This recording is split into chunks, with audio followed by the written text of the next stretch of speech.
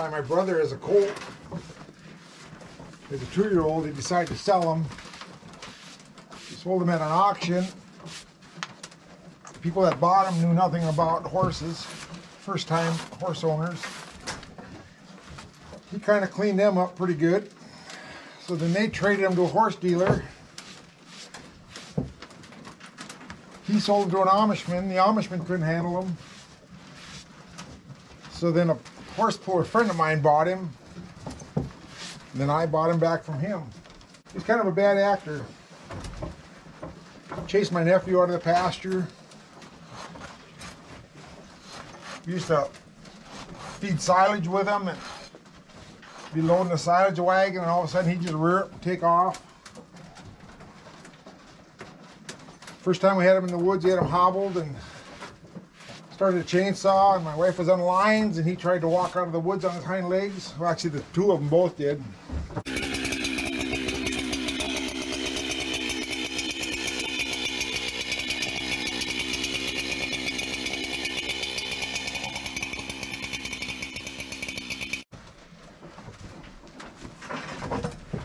When he was a two-year-old, before we got him sold, had him running with a couple 30-year-old mares, and he ended up breeding one of them, and that's how we got this guy here. And he's he was probably snakier than that one was when he was young. Because he ran Paul and Matthew out of the pasture. This guy still got his moments. Yeah, but Stoney's trustworthy enough. I mean, I'd put my kids on him before I'd ever put them on a pony. Yeah, he actually got to be quite lovable after he got older. And I don't know where he got his chubbiness because he's not fat, and that mare was not a real fat horse either, but he's fat.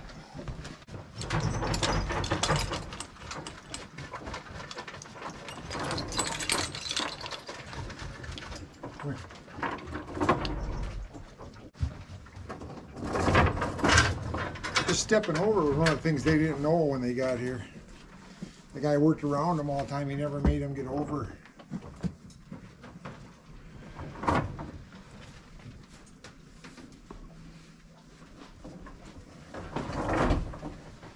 Get over, get over here, fat boy.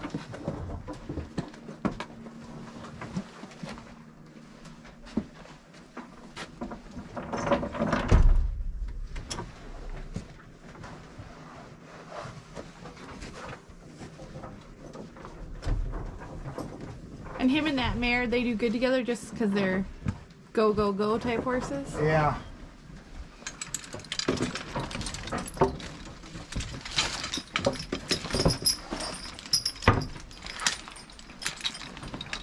I think where we got him from, she got kind of frustrated because that gelding was so slow.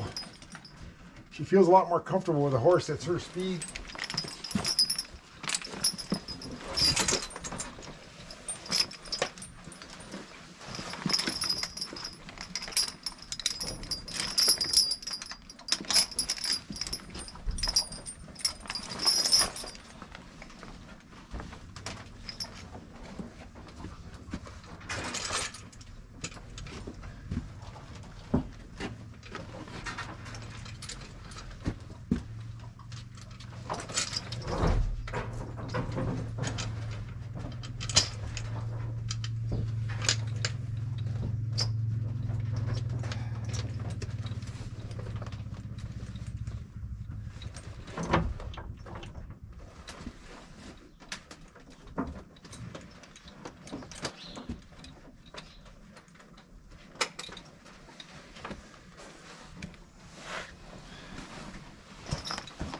Get over. Get over.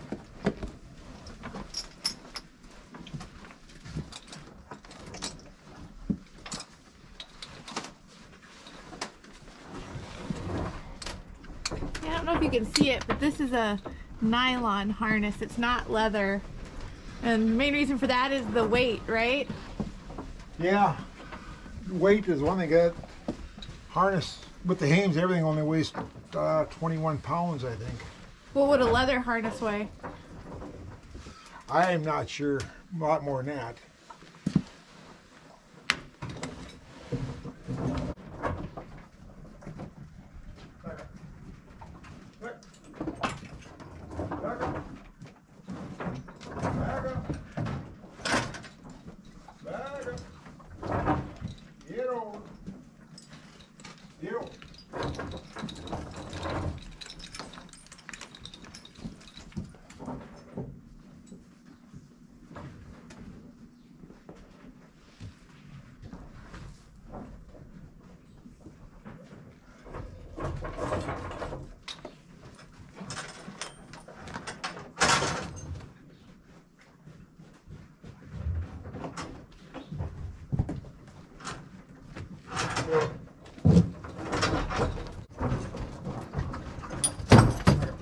Back up. Back up. Back up.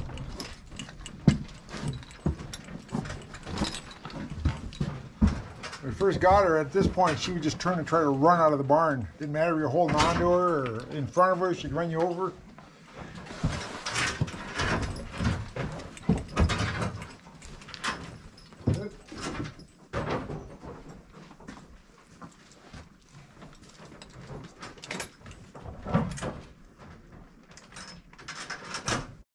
I'm going to show a couple things I do a little different. On this horse, I have a nose, an extra nose band on him. It keeps his mouth shut, makes him a lot lighter on the lines. It's kind of the same principle like the cavesson and the dressage horses, and even on thoroughbreds, you see that. Hitch horses, you, that's where I got it from. Was a hitch guy told me to do that. Keeps his mouth shut. It's easier on the lines. I also carry this other short spreaders. I hook the lines across, holds the line up when they're standing a lot. They don't put their head down, they don't get the line over the end of the pole. With good horses, you don't have to worry about that. You can always stop them and unhook it, but if you got young horses and you get the line under the pole, you can get a wreck. So I do that, and it keeps the keeps the lines up off the pole. Works out really handy. Just a couple things I do different than a lot of people.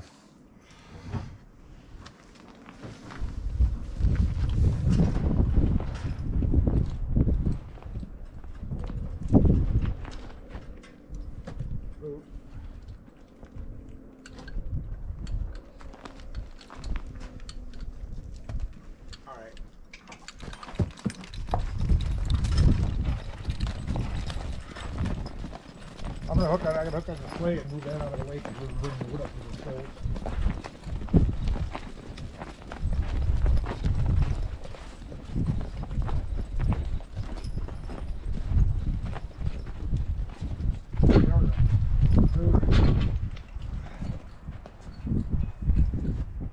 I like about her, she caught into the routine of things here real, real, real quick. The gelding, not so much.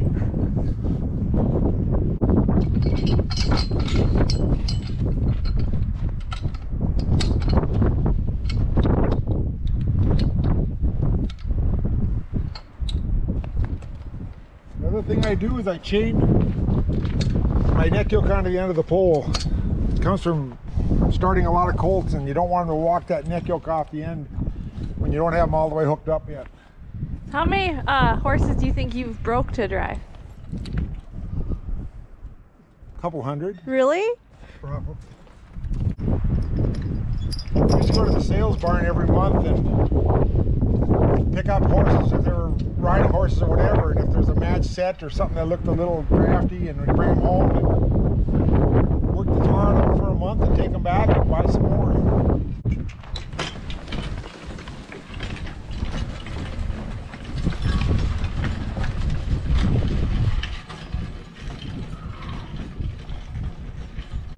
This is the collar. That's where they pull off of or push off of. The hames attached to the collar. Go to the traces. Go back. Horse pushes forward against the collar. Pulls the sleigh forward.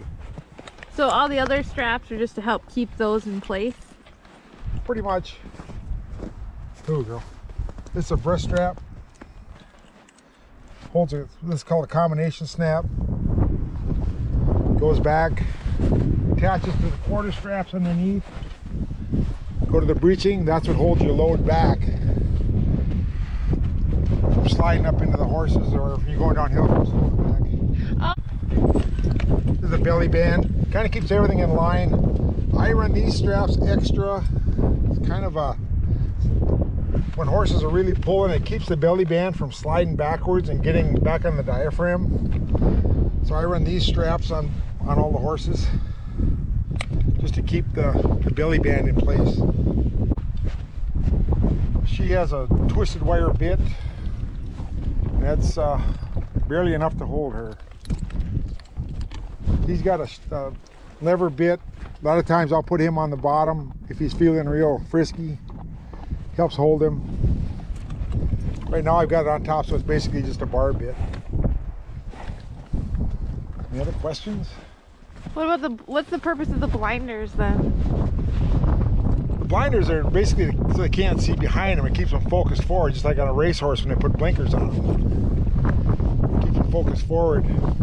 My dad always tells a story that when he was a kid and they farmed all with horses, they had a four-year-old mare, and uh, they used her everywhere. And the first time they put her on the binder, she could see the reel coming, and she tried to take off. So they ended up stuffing a gunny sack in here to keep her from, because she'd tip her head up and she could see the reel behind her. She tried to run away from that. So there's a lot of people work them without blinds, and if you break them that way, it's just fine.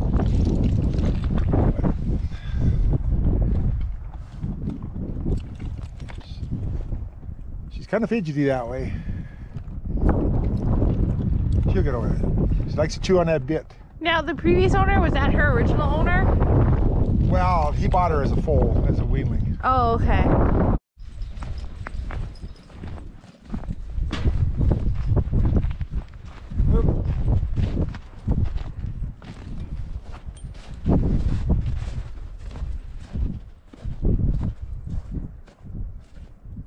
See on the evener here, it's adjustable. Her evener or her single tree hooks on the outside, his on the inside. Gives him, uh, gives her more more leverage, gives him more of the pull. He's just a lot bigger horse, and he's a lot more experienced in the woods too. But I think after she gets some experience, she'll be able to hang with him on an even load.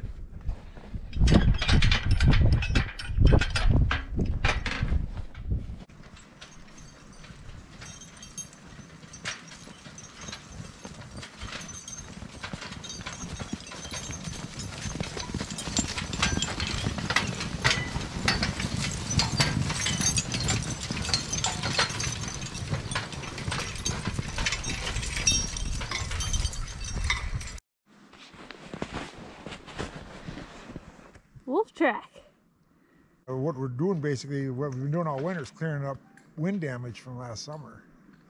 That's basically what we're doing out here. The big one just completely uprooted it. There's a lot of trees that got taken down.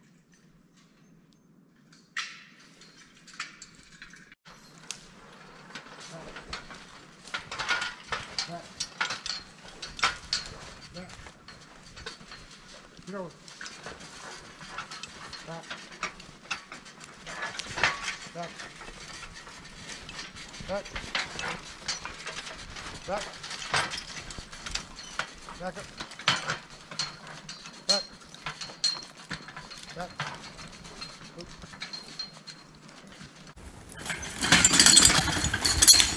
Oh. Back up, back. Oop. Back. Back. Yep. Back. Back up. Back up. Back up.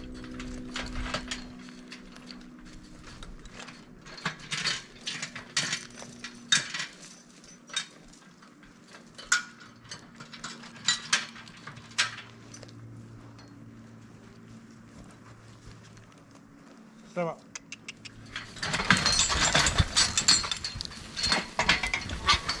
Whoa. Whoa. Whoa. Whoa. Whoa.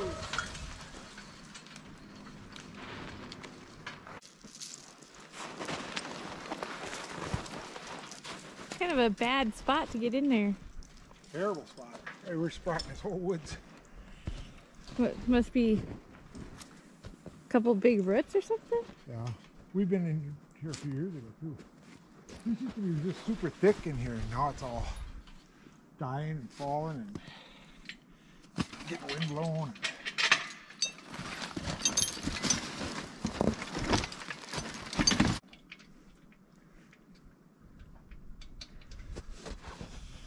How long have you been taking her in the woods here with Stub?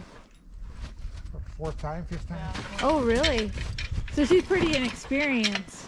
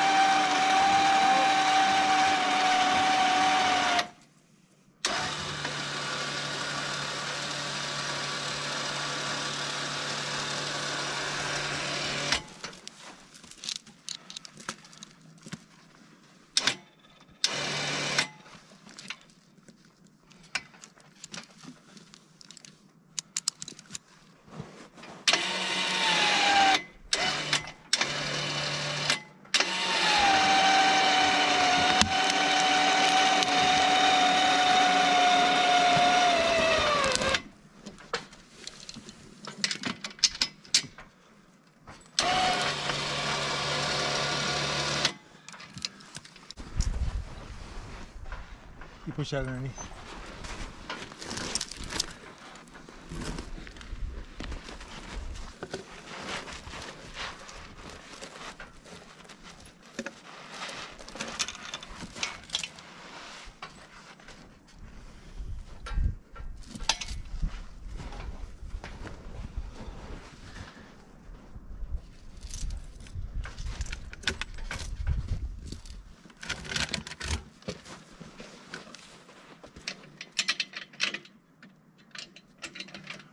Always did before was just left them hooked on here. Did that for years, but then you want to lift on the forecart. So then this year I put a hook up here. So actually I pull farther down and I don't get that bad lift on the forecart.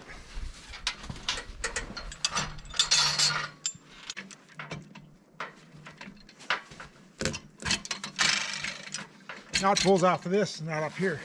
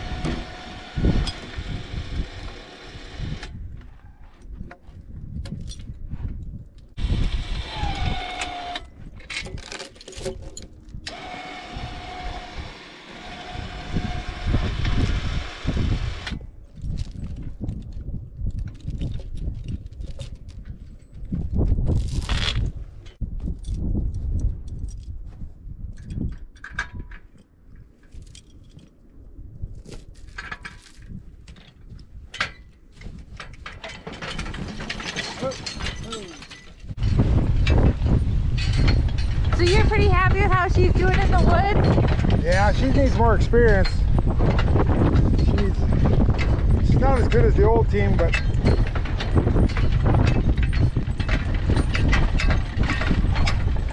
she'll work out all right. Debbie says I trying to trust her more than I should, being that she's pretty new, but so used to the old team and just doing things a certain way.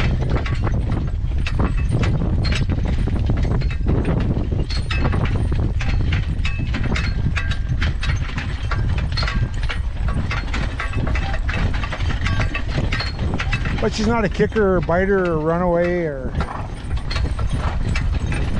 some people might think she looks like she wants to run away, but actually she's pretty well behaved.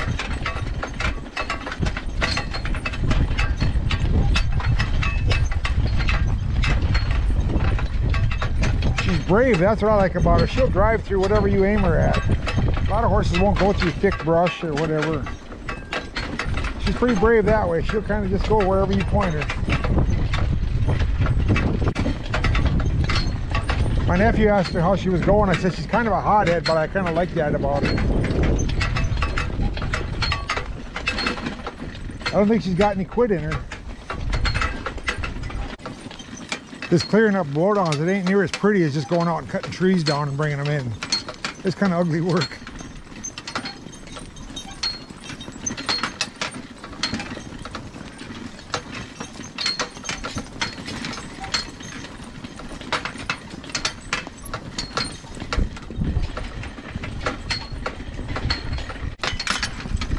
Did you cut firewood with horses growing up? Well, we never really cut firewood until the early 70s with the oil embargo when oil prices went up so high. Then we put in a wood stove. And then we cut, we really didn't have, we just had riding horses that we broke, that we used to use in the garden and whatnot. And then we just used those in the woods. And actually, I like the, this size horse a lot better than a big horse in the woods. She can turn around three times where a big horse have try to figure out what they're doing. She's like the perfect size in the woods. He's even little too. Well, he's plenty big, that's for sure. But you get that big 18 hand elephants that weigh 2,400 pounds, unless you got real good open woods. In this thick crap here we got, you need something a little more agile and laid on its feet.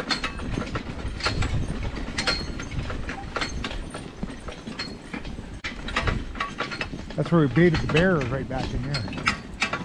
That's where that really big one was on your trail camera? Yeah, right back in there. One time I had Josh with. I said, let's go see what the, let's go check the bear bait. He said, is there a bear there? And I said, might be. He just runs in there. he just heads up the trail. Like, I don't care if there's a bear there. I want to go see it.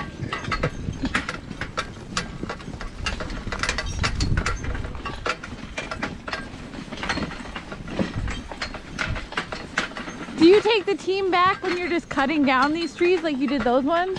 Yeah. Yeah, we carry the saws and everything, and it's the big thing she needs to learn is patience. That's something. Uh, the guy that had her, he had his regular routine. He parked there. He parked his wagon in the same spot, and uh, that's all she knew was that routine. She didn't know. He just he even he even put the lines on in the barn. He didn't make them stand to put the lines on. They stood side by side in the same stall. He put the lines on and backed them out. Look, there's a lot more to come out of here. There's, Yeah, it's pretty gnarly back in here.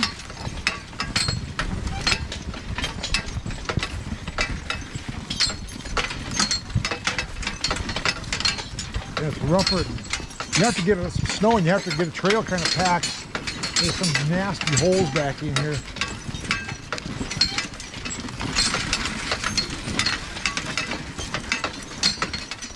Ooh.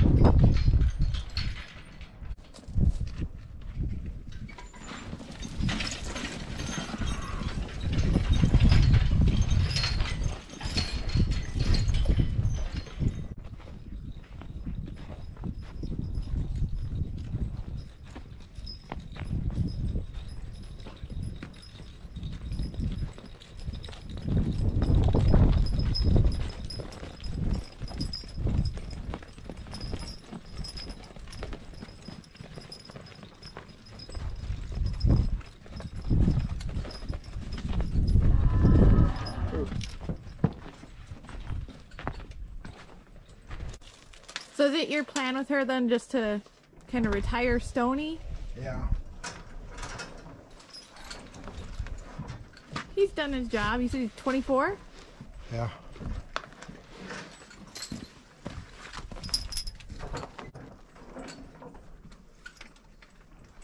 He's got a lot of nervous energy.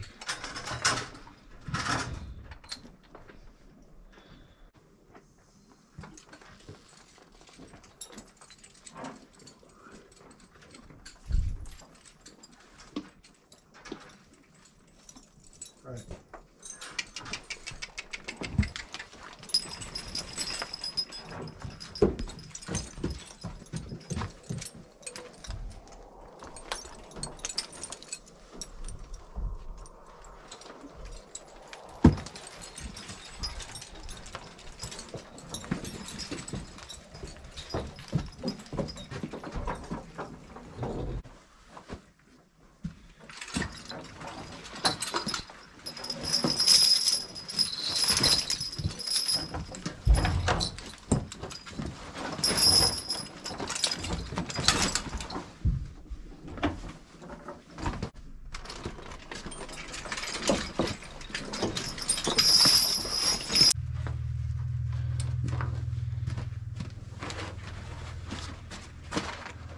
Okay, so people are going to ask what's the bags for? Because that gelding is terribly afraid of everything. So just, uh, what is it? Just something you have to get used to. desensitizing? Is that the. Desensitizing, I guess that's the modern term for it.